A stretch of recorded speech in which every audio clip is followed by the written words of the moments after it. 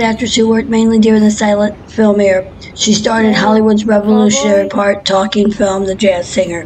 McAvoy made her film debut in 1917 after appearing in more than three dozen films. She co-starred with Ramon Novarro and Francis X. Bushman and director film Niblo 1925 production of Ben Hur released by MGM. The feature-length film was one of the most lavish and spectacular productions of the silent film movie era.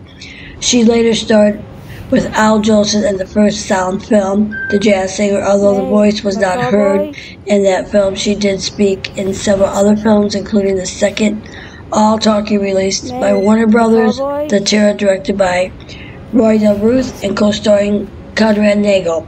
For years, a false rumor circulated that she retired from the screen after translation to sound films due to a lisp of speech impediment.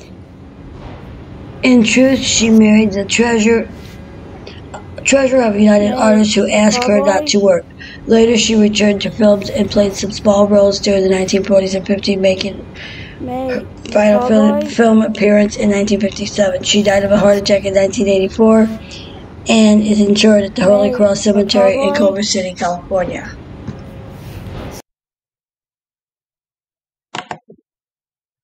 McCullough, May Irene McCullough was born on September 8th of 1899 in New York, New York. She died on April 26, 1984 in Los Angeles, California. Her spouse was Maurice Cleary from 1929 to 1940.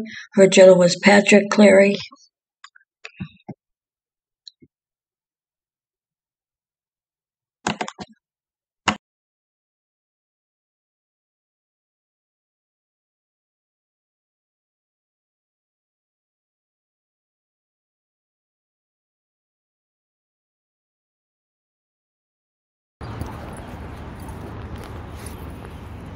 This is Hollywood.